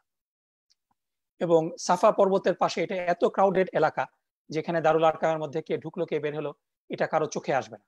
এই জন্য এটা একটা খুব সুন্দর জায়গা ছিল সবার জন্য মিলিত হওয়ার, যে এখানে এখানে মিলিত হলে কারও চোখে পড়বে না, কারণ নর্মালি দারুল আরকামের আশেপাশে সব লোকজন থাকে সব সময় আড্ডা দেয়, বাজার বাজার বেচা কেনা করে। এই জন্য দারুল আরকাম ওয়াজ চুজেন এবং এখান থেকেই সাহাবারা স্পেশালি আবদুল্লাহ ইবনে মাসুদ রাদিয়াল্লাহু বের হয়ে কোরআনের বাণী কোরআনের তেলাওয়াতটা প্রচার করতেন এবং কুরাইশরা চেষ্টা করেছিল কোরআনের বাণীটা যাতে করে মানুষের কাছে না পৌঁছায় এজন্য। এখানে একটা ইন্টারেস্টিং ঘটনা যেটা আমি ন্যারেট করতে চাই যে, কুরাইশদের মধ্যে যারা প্রধান, তারা নিজেরা কোরআনের বাণী থেকে, শোনা থেকে মানুষকে নিবৃত করত, কিন্তু তারাও, নিজেরাও কিন্তু তাদের লোভ সম্বরণ করতে পারতো না কোরআনের বাণীটা শোনার জন্য। সহি হাদিসে ন্যারেটেড আছে ইবনে ইসাক তার সিরাতে বর্ণনা করেছেন এবং মোহাম্মদ ইবনে মুসলিম ইবনে শিহাব আল জোহরি এটা বর্ণনা করছেন। উনি বলছেন যে, কোনো একটা রাতে এটা এমন হয়েছে যে তিনজন গোত্র প্রধান আমরা আবু জাহেলের কথা জানি ওর নাম ছিল আবুল হিসাম তারপরে আবু সুফিয়ান এবং আরেকজন ছিলেন তার নাম ছিল আল আখনাস ইবনে সুরাইক ইবনে আল আমর আল তৌফিকি, যিনি যিনি বানু জহেরা গোত্রের প্রধান ছিলেন। তো এক রাত্রে তারা তিনজন, কারণ রাসুল্লাহ সাল্লাহ সাল্লাম তার বাসায়, তার বাসাটা ছিল ছোট, সে সময় মক্কার কাছেই। উনি আমরা জানি যে রাসুল্লাহ সাল্লাহ সাল্লাম তখন তাহাজুতের নামাজ পড়তেন এবং তাহাজুতের নামাজ রাসুল্লাহ সাল্লাহ সাল্লামের জন্য অব্লিগেটরি ছিলেন। এবং তাহাজুতের নামাজ রাসুল্লাহ সাল্লাহ সাল্লাম খুব সুমধুর কণ্ঠে উচ্চস্বরে তেলোয়াতের মাধ্যমেই করতেন। তো এই তেলোয়াতটা শোনার জন্য রাত্রেবেলা আবু জেহেল তারপরে আবু সুফিয়ান এবং আল আখনাস এই তিনজন দূর থেকে লুকিয়ে লুকিয়ে সারা রাত ধরে শুনত। কারণ এটা এত সুমধুর। তো একদিন রাত্রে এরকম তারা শুনছিল, তারপরে আস্তে আস্তে শুনতে শুনতে হঠাৎ করে দিনের আলো এসে গিয়েছে, ফজরের ওয়াক্ত হয়ে গিয়েছে, তারা কেউ টেরি পায়নি। যখন দিনের আলো বের হলো, তখন তারা যখন প্রত্যেকে নিজেদের বাসার দিকে যাওয়ার চেষ্টা করল, তখন তিনজন মিলিত হলো। এবং তারা তিনজন যখন মিলিত হলো, তারা তিনজনই লজ্জিত হয়ে গেল যে তারা মানুষকে কালামে পাক তেলাওয়াত শোনা থেকে নিবৃত করছে, অথচ তারা নিজেরাই এসে কালামে পাক থেকে তেলাওয়াত করছে। তখন তারা প্রমিস করল যে আর যেন এরকম না হয়, তারা আর শুনবে না। তারপরে আবার দ্বিতীয় দিন একই ঘটনা ঘটলো, যে সারা রাত ধরে তারা শুনেছে, যাওয়ার সময় আবার তারা মিলিত হলো। তারপরে একই প্রমিস তারা করল।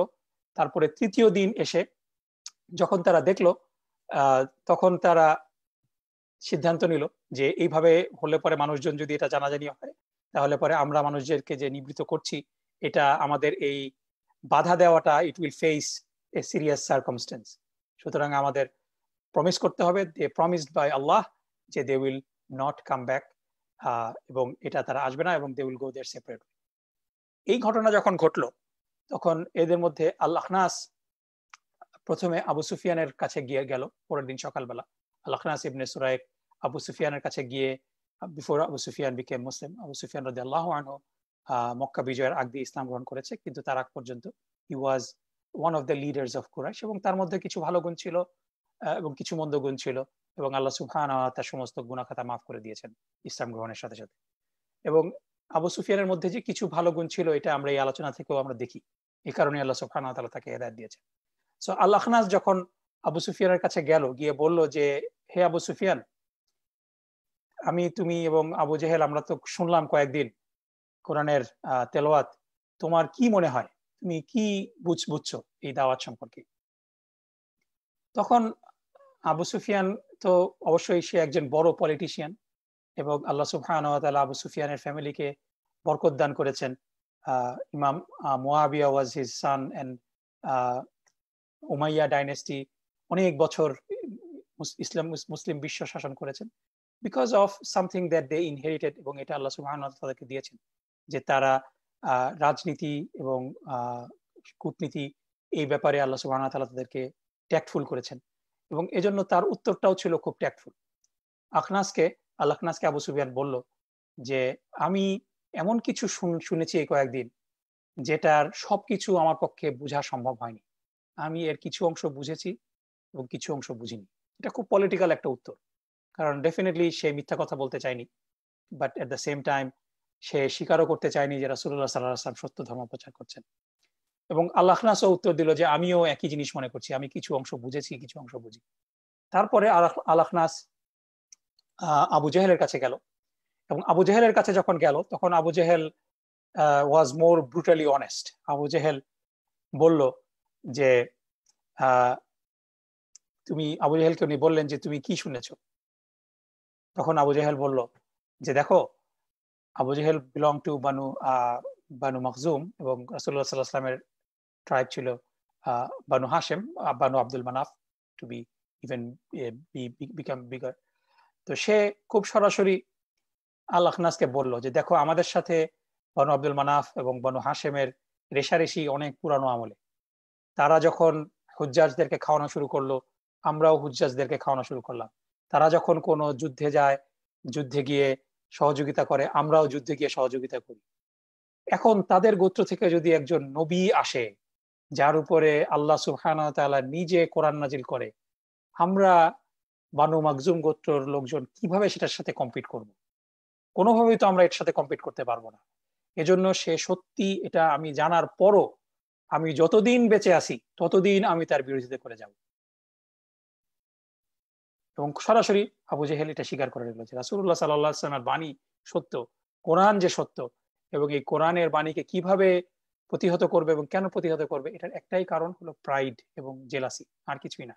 যে রাসুল্লাহ সাল্লাহ সাল্লাম বানু হাশেম, বানু আব্দুল মানাব গোত্রতে এসেছে, কেন বানু মাকজুম গোত্রে আসেনি?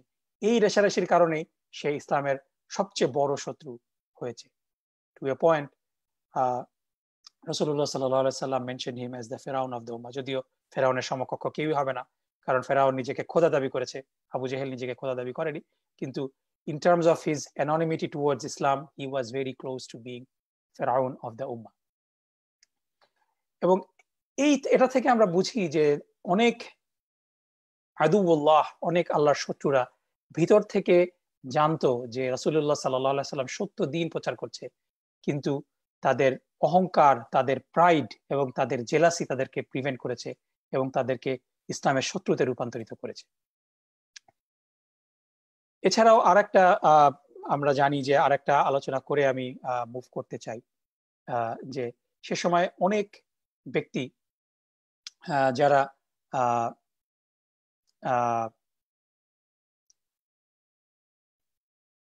সে সে সময় অনেক ব্যক্তি ছিল যারা কোরআন, সরি, আমি একটু পুরানো স্লাইডে চলে যাই। সে সময় আরেকজন ব্যক্তি ছিলেন যারা মানে বেসিক্যালি কোরআন শুনে, শুধুমাত্র কোরআনের বাণী শুনে ইসলাম গ্রহণ করেছে এরকম ছোট্ট একটা এক্সাম্পল দিয়ে আমি মুভ অন করছি। যে কারণে তারা কোরআনের বাণী যাতে করে মানুষ না শুনে, এটা প্রচার করার চেষ্টা করছিলেন। আমরা সবাই জানি হজরত তুফাইল ইবনে আমর রদি আল্লাহ তালা ইসলাম গ্রহণের ঘটনা। তিনি একজন চিকিৎসক ছিলেন, যিনি দাউজ গোত্রের প্রধান ছিলেন। উনি যখন হজের জন্য আসতেন মক্কাতে, তখন কুরাইশরা তার কাছে গিয়ে বলল যে, তোমরা খবরদার মোহাম্মদের কাছেও এসো না, কারণ সে এমন একটা বাণী প্রচার করছে, কোরআনের কথা বলছে। যে, এই কোরআন এর মধ্যে একটা জাদুকরী জিনিস আছে, এই কোরআন এটা তোমাদের কানে গেলেই তোমরা বিমোহিত হয়ে যাবে, সুতরাং তোমার কান সবসময় বন্ধ রাখবা। যাতে করে কোরআনের বাণী তোমাদের কানে না ঢোকে। তখন তোফাইল ইবনে আমর রাদিয়াল্লাহু আনহু বিফোর হি বিকেম রাদিয়াল্লাহু আনহু he was a intelligent man he thought যে আমি একজন চিকিৎসক। সে যদি রোগগ্রস্ত হয়ে থাকে আমি তাকে চিকিৎসা করব, কিন্তু আমি তার কথা কেন শুনব না? সো সে গিয়ে রসুল্লাহ সাল্লাহ সাল্লামের কাছে গিয়ে বসল এবং বলল যে, তুমি যেটা প্রচার করছ সেখান থেকে আমাকে কিছু শোনাও। এবং রসুল্লাহ সাল্লাহ সাল্লাম খুদ্বতুল হাজা শুরু করলেন। ইন আলহামদুলিল্লাহ নাহমদ হু ওয়ানাস্তাইন হু ওয়ানাস্তাগফিরু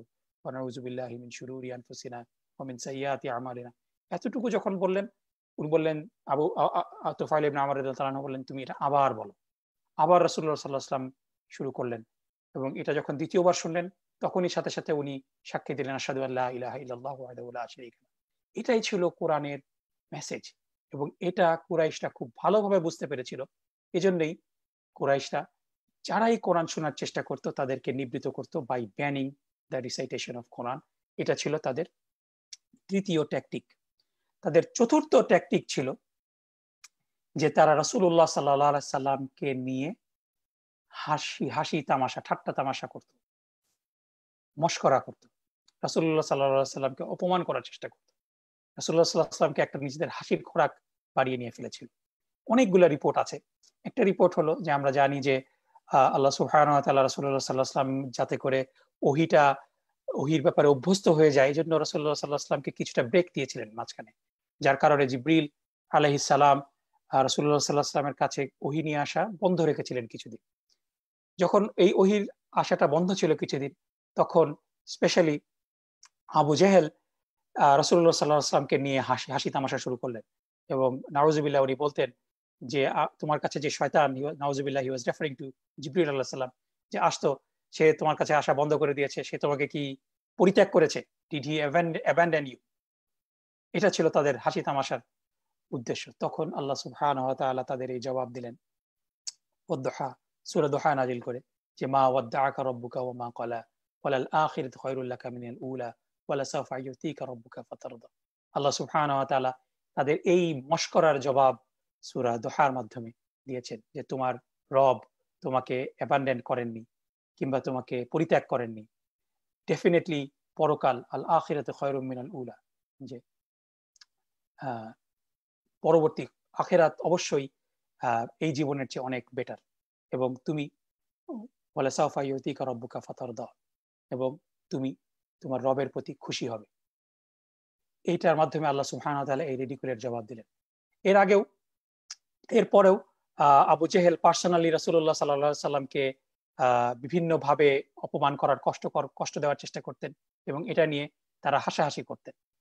সহি হাদিসে নেরেটেড আছে এবং অনেক মুফসের কেরাম সুরা মাউনের শানে নজুলে আসবাব নজুলে এই ঘটনাটা মেনশন করেছেন যে একজন গরিব, দরিদ্র, ইয়াতিম মানুষ আবু জেহেলের কাছে কিছু আবু জেহেলের সাথে কোনো একটা ট্রানজাকশনের ঘটনা এবং আবু জেহেলের কাছে কিছু ধন সম্পদ গচ্ছিত রেখেছিল কিংবা আবু জেহেলের কাছে কিছু পাওনা পেত সেই পাওনাটা ফেরত পাওয়ার জন্য সেই ইয়েতিম দুস্থ বালকটা আবু জেহেলের কাছে গেল। এবং আবু জেহেল তখন এই দুস্থ বালকটাকে নিয়ে কিছুটা হাসি তামাশা মস্করা করারও চেষ্টা করল এবং অন্য অন্য কুরাইশের নেতৃবৃন্দ মনে করল যে এটা নিয়ে তো একটু মজা করা যায়। কারণ রসুল্লাহ সাল্লাহ সাল্লাম এতিমের হক নিয়ে খুব ভোকাল ছিলেন এবং কোরআনের বিভিন্ন আয়াত তখন নাজিল হচ্ছিল, যেটাতে বলা হচ্ছিল যে তোমরা এতিমের সম্পদ ভক্ষণ করো না বিভিন্ন ভাবে এতিমদেরকে দান সদাকা করার। তো অন্যান্য কুরাইশের নেতৃবৃন্দ দেখল যে এটা একটা মজা করার একটা নিজেদেরকে নিজেদেরকে এন্টারটেইন করার একটা সুযোগ। কারণ রাসুল্লাহ সাল্লাহ সাল্লামের, সাল্লামকে তারা মনে করেনি যে আবু জেহেলের সাথে এসে কনফ্রন্ট করার করার মতো কনফ্রন্ট করার মতো সাহস রাসুল্লাহ সাল্লাহ সাল্লামের কাছে থাকবে। সুতরাং তারা এই যুবকটাকে বুদ্ধি দিল যে এক কাজ করো, একটা লোক আছে মোহাম্মদ, তার কাছে যাও সে তোমাদের সমস্যার সমাধান করে দিতে পারবে। এবং তাদের উদ্দেশ্য ছিল যে একটু তামাশা দেখা। যে যদি রাসুল্লাহ সাল্লাহাম বলে যে দেখো, আমি তো আবু জেহেল একটা গোত্রের প্রধান, আমি তার কাছ থেকে এটা উদ্ধার করতে গেলে তো আমার বানু মাকজুম গোত্রের সাথে যুদ্ধে জড়িয়ে পড়তে হবে, আমি এটা পারব না তুমি আমাকে মাফ করে দাও। এই জাতীয় কিছু বলবে, এরকম এক্সপেক্ট করতেছিল তারা। তখন কুরাইশটা এসে বলবে, কি ব্যাপার, তুমি তো নিজেই তোমার তুমি যেটা পিচ করো, ওইটা তুমি নিজেই তো এটা পালন করতেছো না। এতিম, এতিমদেরকে কই তুমি হেল্প করতেছো?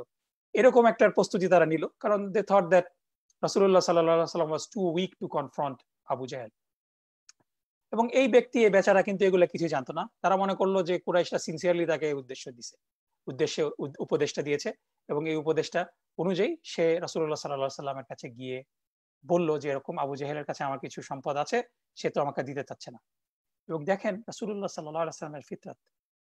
রাসুল্লাহ সাল্লাহ সাল্লাম যখন অভিযোগটা শুনলেন, সাথে সাথে without thinking twice about the consequence যে বনু মাকজুম গোত্রের সাথে আমাদের যুদ্ধ হবে কিনা, আবু জেহেল আমাকে ক্ষতি করবে কিনা, কোনো কিছুর তোয়াক্কা না করে রাসুল্লাহ সাল্লাহ সাল্লাম সরাসরি ছেলেটার হাত ধরে আবু জেহেলের বাসায় গিয়ে আবু জেহেলের দরজার করা নাড়লেন। এটাই আমাদের হওয়া উচিত।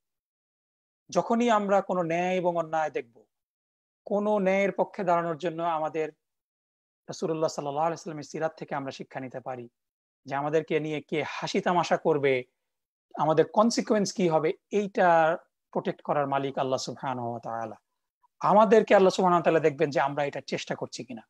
সুতরাং কে কি মনে করল, কে আমাদেরকে নিয়ে হাসি তামাশা করবে, কে আমাকে ক্ষতি করবে, এই চিন্তা করে কোনো ন্যায় অন্যায়ের যখন এক্সাম্পল আমাদের সামনে আসবে, আমরা চুপ থাকতে পারি না, আমাদেরকে নির্যাতিতের পক্ষে থাকতে হবে, আমাদেরকে অন্যায়ের বিরোধিতা করতে হবে নো ম্যাটার হোয়াট এবং আবু জেহেলের করা যখন রসুল্লাহ সাল্লাহাম নাড়লেন এবং কুরাইশের অন্য অন্যরা তামাশা দেখার জন্য বসে আছে যে কি হয়, নিশ্চয়ই এখন একটা মজা তারা দেখতে পারবে।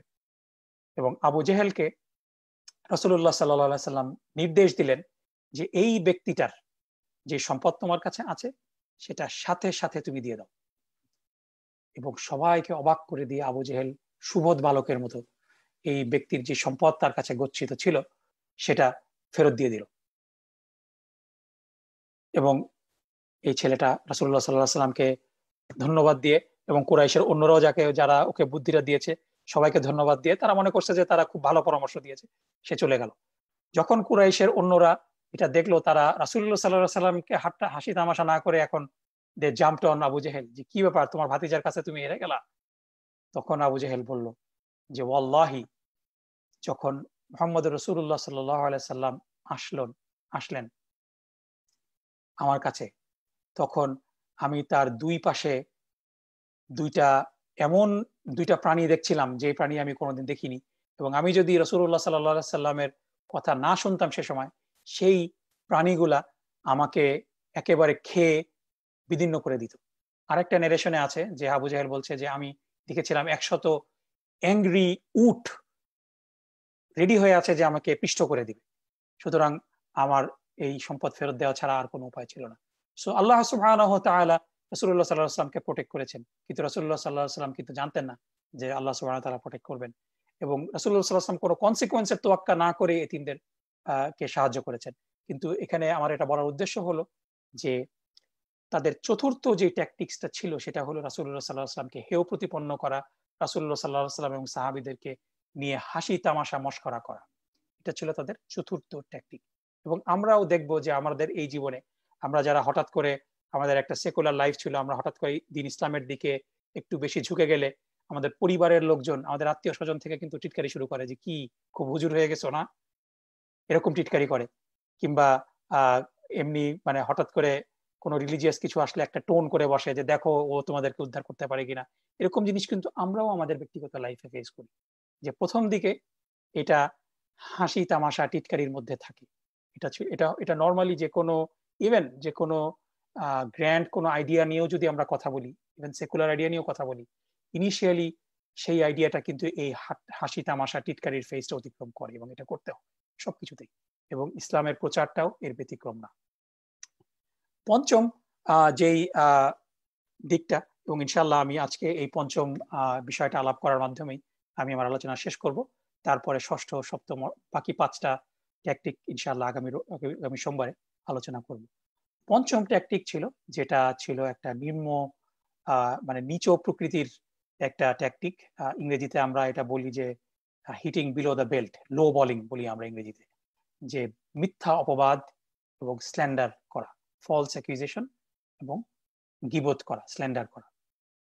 এটা ছিল তাদের তৃতীয় ট্যাকটিক যখন তারা দেখল যে প্রথম চারটা ট্যাকটিক ফেল করল, প্রথমে তারা আবু তালেব এর মাধ্যমে অ্যাপ্রোচ করল, তারা একটা প্রস্তাব দিল রসুলামের সাথে তাদের একজনকে ট্রেড করা।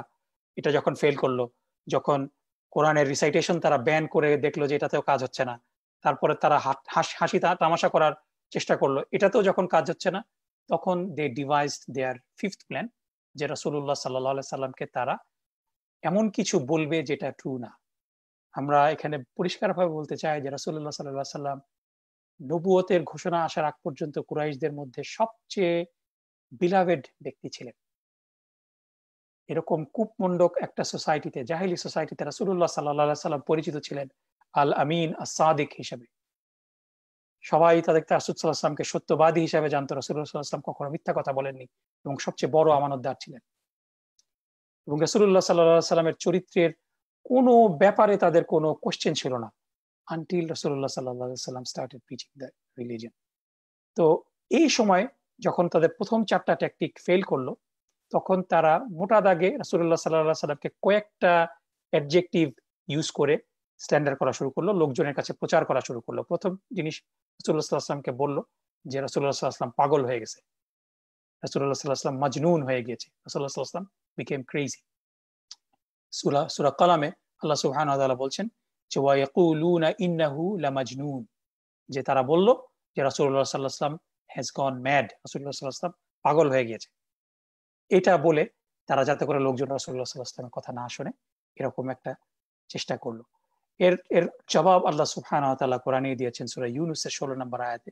আল্লাহ সুবহানাহু ওয়া তাআলা বলছেন, লাকাদ লাবিস্তু ফীকুম উমরাম মিন ক্বাবলিহি, আফালা রাসূলুল্লাহ সাল্লাল্লাহু কথা বলছেন যে, বলো যে আমি তোমাদের সাথে সারা জীবন, ফকদ লাবিস্তু, আমি ডেফিনেটলি তোমরা জানো যে আমি তোমাদের সাথে ফিকুম উমরান মিন কাবলিহি এই বাণী প্রচারের আগে আমি সারা জীবন তোমাদের সাথে ছিলাম, তখন তো তোমরা কখনো বলে নাই যে আমি পাগল কিংবা আমার মাথা খারাপ। আফালা তাকিলুন তোমরা কি চিন্তা করবে না? এছাড়াও রাসুলসাল্লামকে আরও অন্য অন্য অনেক জিনিস আমাদের আসলে আসলে তো সময় স্বল্প আমরা সবগুলা নিয়ে কথা বলতে পারব না। কিন্তু মেজরিটি অফ দ্য অ্যাকুইজিশন ছিল যে তিনি একজন জাদুকর হি ইজ এ ম্যাজিশিয়ান তারপরে আরেকটা ছিল যে তিনি জিন দ্বারা অবসাদগ্রস্ত। He is afflicted by jinn জিনে আসর করেছে রাসুল্লাহ সাল্লাহ আসলামকে আর একটা ছিল যে উনি একজন কবি, উনার সম্মোহনী কবিতা। তো এই সবগুলার মানে কি বলা যায় যে সম্মিলিত ভাবে এগুলা কীভাবে কোঅর্ডিনেট করা যায়? আমরা অনেকেই মনে করি যে দ্বিতীয় বিশ্বযুদ্ধের সময় অ্যাডলফ হিটলারের উপদেষ্টা গোয়েবলস মিথ্যা প্রচারের আর্টটা উদ্ভাবন করেছিল। তার ফর্মুলা ছিল যে একটা মিথ্যা যদি একশো বার প্রচার করা হয় সেই মিথ্যাটা সত্য হয়ে যায়।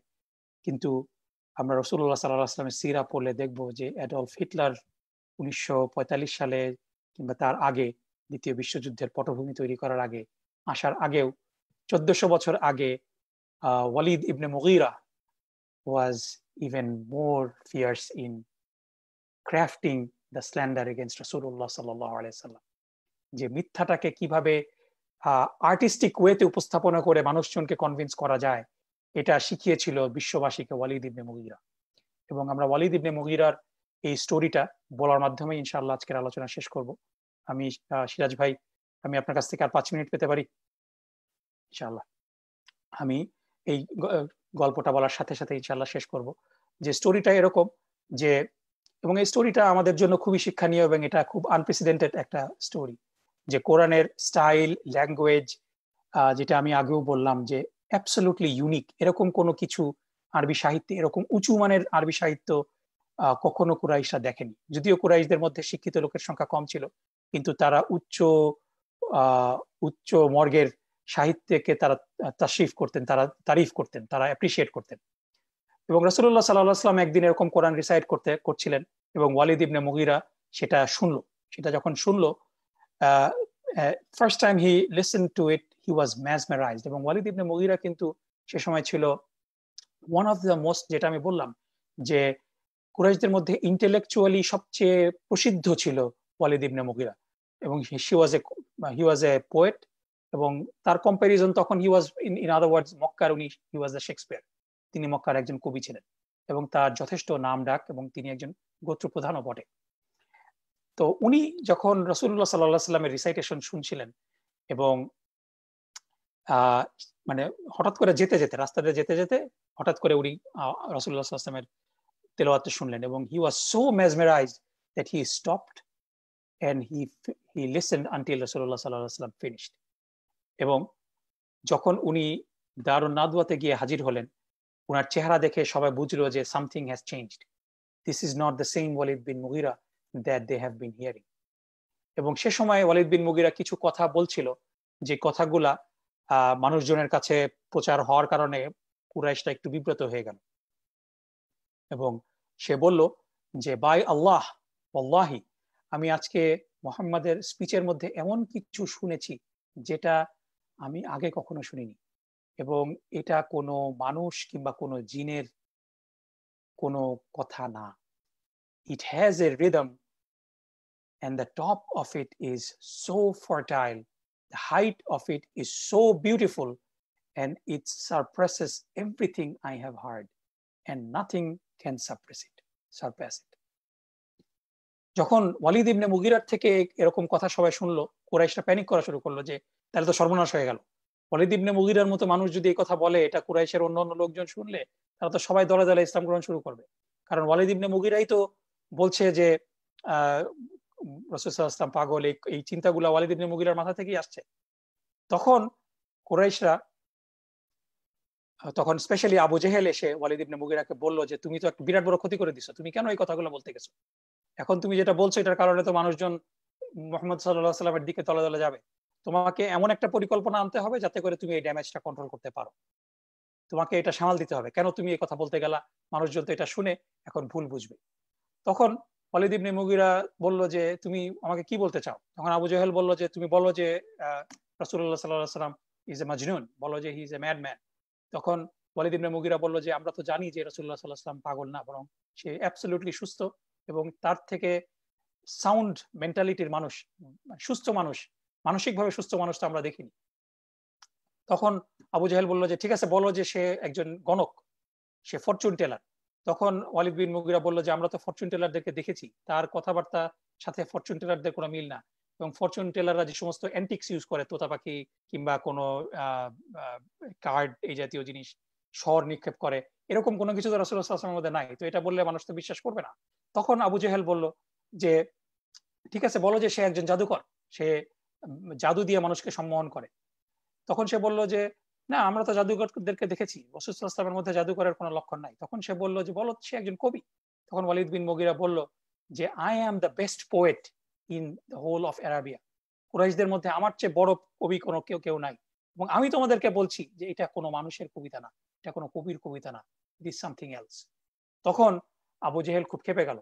আবু জেহেল বলল যে তোমাকে কিছু একটা করতে হবে। আমি জানি না তুমি কি করবা। তুমি আমাদের মধ্যে সবচেয়ে বুদ্ধিজীবী শ্রেণির মানুষ, তোমার চেয়ে বুদ্ধিমান লোক এখানে কেউ নাই। তুমি কিছু একটা করো যাতে করে আমাদেরকে আমরা রসুল্লাহ সাল্লাহ আসলামের বিরোধিতা করতে পারি। Figure it figure something out তখন ওয়ালিদ বিন মুগিরা পড়ে গেল বিপদে। তখন তিনি তার বাসার মধ্যে he confined himself in in his house he started walking তিনি হাঁটা শুরু করলেন, তারপরে কিছুক্ষণ থেমে চিন্তা করলেন, তারপরে তিনি তার কপাল কুচকালেন, and he was going back and forth until he came across an idea এবং কোরআনের বিরাট বড় মিরাকল যে this entire episode was recorded আল্লাহ সুবহান এই পুরা জিনিসটাই সুরা মুদাসিরে রেকর্ড করেছেন এবং এই পুরা ঘটনাটাই ওয়ালিদ ইবনে মুগিরা এই যে প্লটটা করছে, এই প্লটটাকে আল্লাহ সুবহান সুন্দরভাবে ক্যাপচার করে মোহাম্মদ রসুল্লাহ সাল্লাহ আলহিসাল্লামকে জানালেন।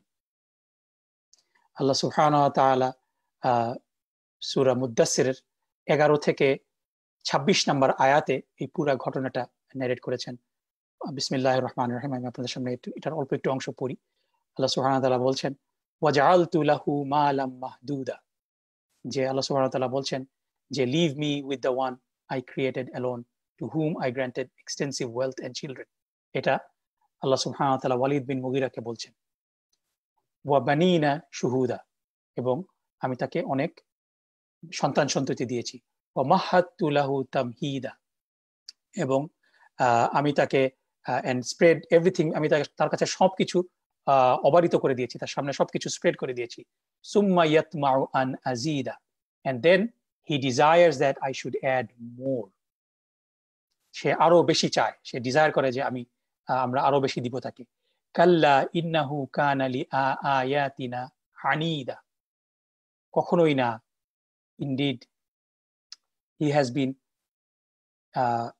he has been towards our verse stubbornly hostile সে আমাদের বাণীর প্রতি খুব বেশি বিরোধী ছিল। সা উরহিকুহু সাউদা।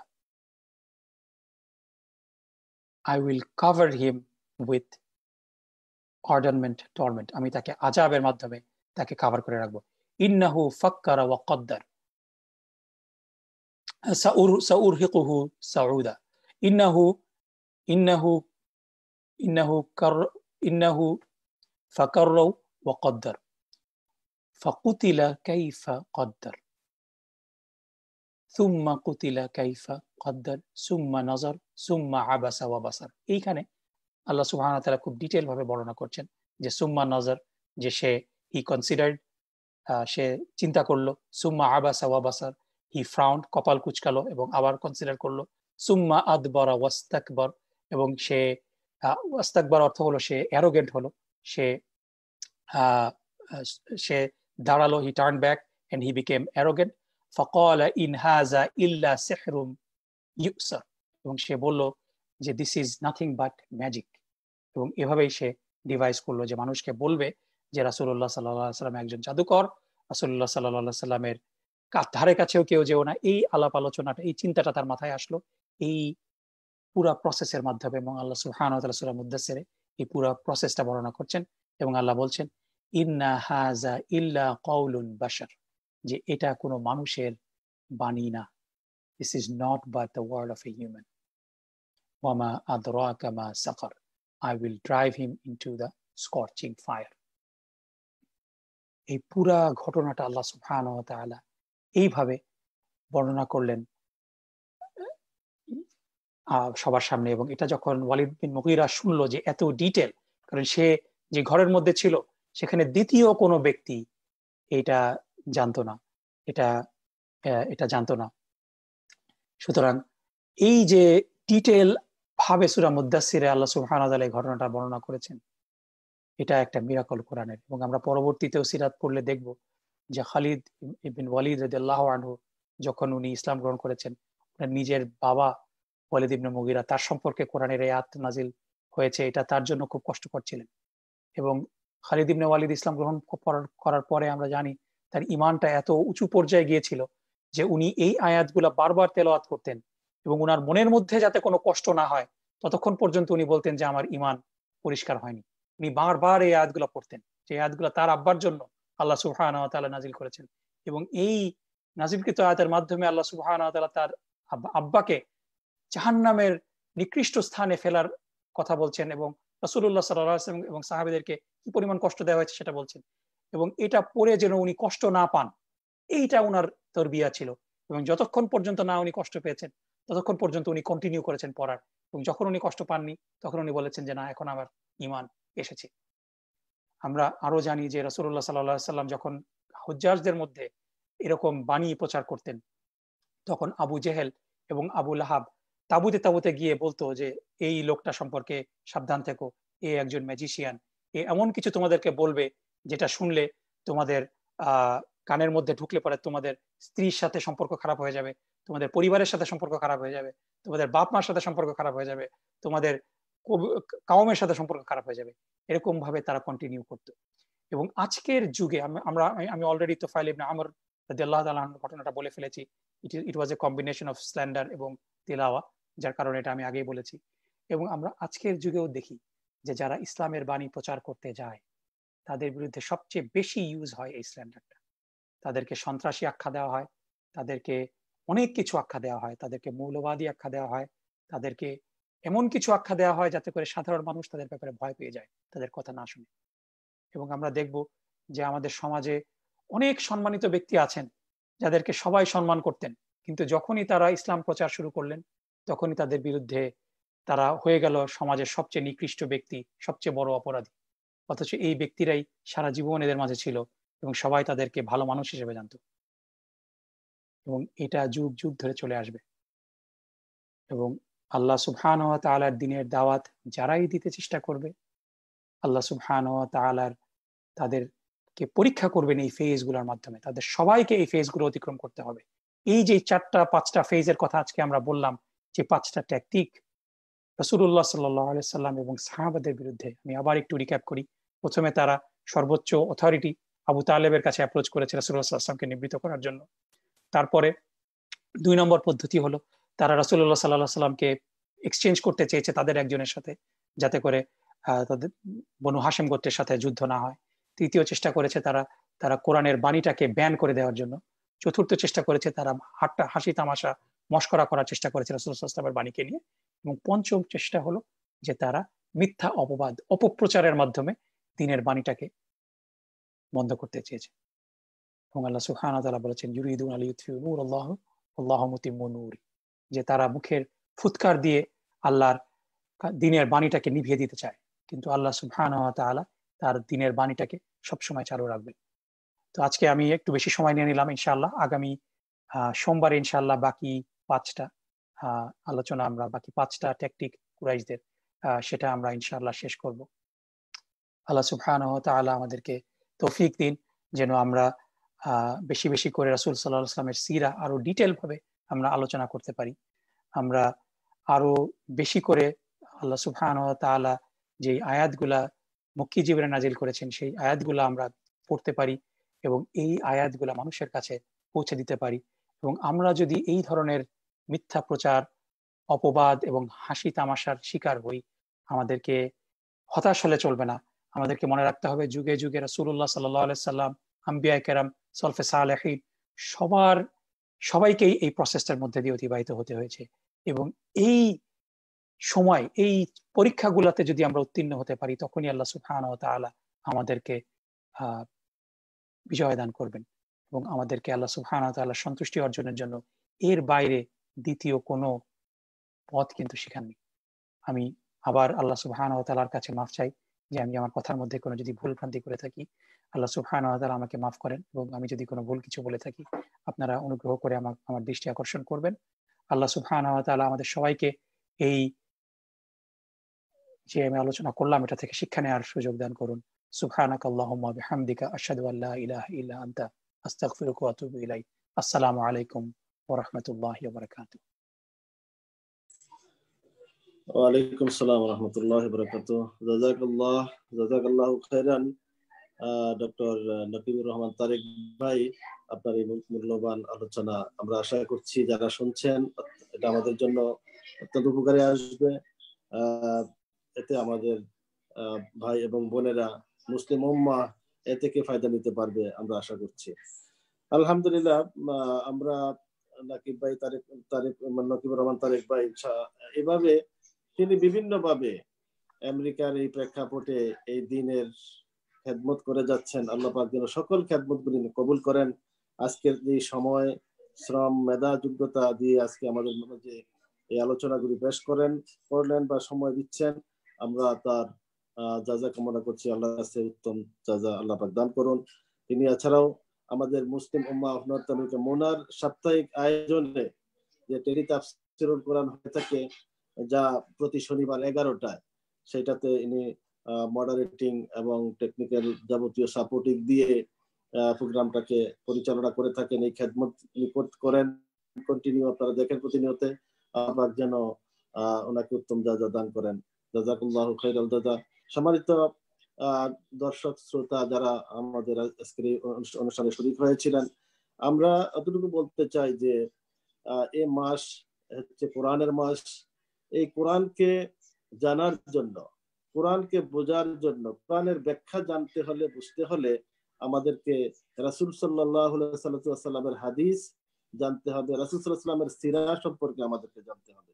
এই জন্য ভাই যে ধারাবাহিক আলোচনাগুলি করে থাকেন, আমরা যদি নিজের আমাদের ব্যক্তিগত ভাবে আমাদের বিভিন্ন সিরাত গ্রন্থগুলি রয়েছে যেমন সিরাতে ইবনি হিসাম আরও রয়েছে অথেন্টিক ভালো একটা সিরাত গ্রন্থ মানবতার বন্ধু মোহাম্মদ সাল্লাহ আলহিসাল্লাম এই জাতীয় আরও অনেক বাংলা ভাষায় অনেক সিরাতের গ্রন্থ রয়েছে। এগুলি যদি আমরা নিজেরা জীবনে অধ্যয়ন করি এবং এগুলির সাথে কোরআনের সাথে রাসুল সাল্লামের জীবনের সাথে যদি মিলিয়ে আমরা কোরআন অধ্যয়ন চেষ্টা করি, তাহলে কোরআনকে বোঝার জন্য আমাদের জন্য সহায়ক হবে।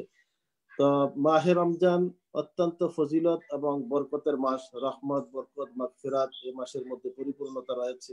এ মাসের অত্যন্ত গুরুত্বপূর্ণ রজনী লাইলাতুল কদর আমাদের সামনে রয়েছে। সম্মানিত দর্শক শ্রোতা, আমরা এই মাহে রমজানকে যেন একটা ফলপ্রসূ রমজান হিসাবে আমরা পালন করতে পারি, উদযাপন করতে পারি। বিশেষ করে মাহে লাইলাতুল কদরকে যেন আমরা আমাদের জীবনে অর্জন করতে পারি অ্যাচিভ করতে পারি সেটা হচ্ছে আমাদের জন্য এখন থেকে একটা বিরাট এক টার্গেট থাকা দরকার। যেহেতু এই রসুল সাল্লাহ সাল্লাম মাহের লাইলাতুল কদরের ব্যাপারে তো আপনারা জানেন সেখানে আমরা মাহে রমজানের শেষের দিকে, শেষ দশ দশ, শেষ দশকের মধ্যে রাসুল সাল্লাহ সাল্লাম লাইলাতুল কদরকে তালাশ করার জন্য আমাদেরকে বলেছেন। তো আমরা লাইলাতুল কদরের খুবই নিকটবর্তী হয়েছি। আমরা এখন থেকে আমাদের কামনা বাসনা হওয়া দরকার, আল্লাহর কাছে তাওফিক কামনা করা দরকার আল্লাহ মারজুকনা লাইলাতুল কদর। হে আল্লাহ, আমাদেরকে লাইলাতুল কদর আমাদের জন্য নসিব করুন। এভাবে আমরা যদি আল্লাহর কাছে চাই এবং আমরা নিজেরা এই কোভিড কোভিড নাইন্টিন এই প্রেক্ষাপটে টোয়েন্টি টোয়েন্টি রমাদান, এটা আমাদের জন্য একটা হয়তো ইতিহাসের একটা অধ্যায় হিসাবে থাকবে। আমরা যদি এই মাহে রমজানটাকে সেভাবে আমরা কাজে লাগিয়ে আমরা আমাদের জীবনকে ধন্য করতে পারি লাইলাতুল কদর যদি আমরা সেখান থেকে অর্জন করতে পারি অ্যাচিভ করতে পারি, এটাই হচ্ছে আমাদের জীবনের জন্য একটা বিরাট পাওয়া। আমরা এই অনুভূতিকে সামনে নিয়ে এই মাহে রমজানের এই বাকি দিনগুলিকে আমরা উদযাপন করব, পালন করব, আল্লাহর হুকুমগুলি, আল্লাহর মর্জি মোতাবেক বাকি রমজানে আমরা আল্লাহর কাছে কামনা করব যে আল্লাহ পাক যেন বাকি রমজানগুলি বাকি রমজানের রোজাগুলি যেন আল্লাহ পাকের মর্জি মোতাবেক আমরা পালন করতে পারি, লাইলাতুল কদর যেন আমরা অ্যাচিভ করতে পারি। এই কামনা আমরা আল্লাহ দরবারে করছি। সম্মানিত ভাই এবং বোনেরা, যারা আপনারা আপনাদের আজকের এই অনুষ্ঠান শুনছেন, আপনাদেরকে আমরা বিশেষভাবে আগামী সোমবারের যেটা রমজানের পঁচিশে রমজান হয়ে থাকে, সেখানে ডিটেলস কনক্লুশন সহ ভাই একটা গুরুত্বপূর্ণ আলোচনা কনক্লুড করবেন। তো আমরা আগামী মানডের যে প্রোগ্রাম রয়েছে সেটাতে আপনাদেরকে আমন্ত্রণ জানাচ্ছি বিশেষভাবে। আপনারা শরীর হওয়ার জন্য চেষ্টা করবেন। আর ধারাবাহিক প্রোগ্রামগুলি যা আমরা হয়ে থাকে আগামীকালকেও সেটা সেম টাইমে দুইটা থেকে ইনশাল্লাহ হবে। আপনাদেরকে সকলকে আমন্ত্রণ জানিয়ে আপনাদের সকলের সুস্বাস্থ্য কামনা করে আল্লাহর কাছে আমরা এই কাম, প্রার্থনা করছি। আল্লাহ পাক যেন আমাদের জীবনের গুণাখাতাগুলি এই রমজানে আমরা মাফ আল্লাহ পাকের কাছে, মাফ চাই তিনি যেন মাফ করে দেন। আমাদেরকে যেন আগামী রমজান পর্যন্ত যেন হায়াত দিয়ে আমাদেরকে যেন বাঁচিয়ে রাখেন। আপনারা সকলেই সুস্থ থাকেন, ভালো থাকবেন, এই কামনা ব্যক্ত করছি। সাথে সাথে আমাদের মাঝে আজকের এই প্রোগ্রামের সভাপতি বা আমাদের সম্মানিত ইমাম এস এম সিরাজুল ইসলাম ভাই আছেন আমাদের মাঝে। তিনি সহ আমরা সকলের আবেদন আপনাদের কাছে একটা আবেদন থাকবে যে আমরা আমাদের সেকেন্ড হোম যে BICC Buffalo Islamic Cultural Centre সেটাকে আমরা আমাদের ভুলে যাব না। আমরা মসজিদে যাইতে পারছি না, কিন্তু আমরা আমাদের হৃদয় থেকে সেটাকে আমরা মুছে দিব না। আমরা সেটার জন্য সেটার মেনটেনেন্সের জন্য আমরা আমাদের নিয়মিত যে ন্যাশনাল প্রেসিডেন্ট আমাদের মধ্যে একটা ঘোষণা দিয়ে গেছেন যে আমরা টেবিল ব্যাংক করে হলেও প্রতিদিন একটা অ্যামাউন্ট আমরা সেখানে ডোনেট করি। মাহে রমজানের মধ্যে ওইটাও একটা আমল, বিরাট আমল, এবাদত এবাদতে মালি। সেটা দিয়েও আমরা আমরা ইনশাল্লাহ এই আবাদতটা কন্টিনিউ রাখব। আমাদের মসজিদ বাইতুল আমানকে মেনটেনেন্সের জন্য আমরা যে ধারাবাহিক নিয়মিত প্রতি রমজানের প্রতিদিনে ফাইভ ডলারের একটা অ্যামাউন্ট দিয়ে আমরা সেটা কন্টিনিউ করে যাব। ইনশাল্লাহ আহ্বান রাখছি। সম্মানিত ইমাম এস এম সিরাজুল ইসলাম ভাইয়ের পক্ষ থেকে এই আবেদনটা আপনাদের কাছে আসে। বিভিন্ন সময় আমরা যেন আমলটা করতে পারি, আল্লাহ পাক যেন আমাদেরকে তৌফিক দান করেন।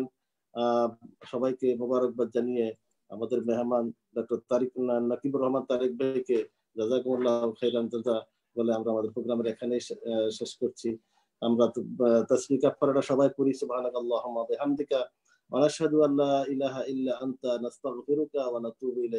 আসসালামু আলাইকুম ওয়া রাহমাতুল্লাহি ওয়া বারাকাতুহু আসসালামু আলাইকুম ওয়া রাহমাতুল্লাহ আসসালামু আলাইকুম ওয়া রাহমাতুল্লাহ